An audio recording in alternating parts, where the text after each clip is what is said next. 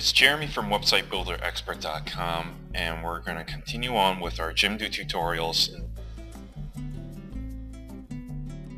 Photo gallery, you know, upload uh, your images if you wish.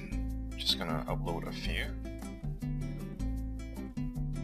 and click upload and it's just that simple. You can uh, configure it in a uh, uh, box format or in a flash uh, image gallery. You can control the proportions.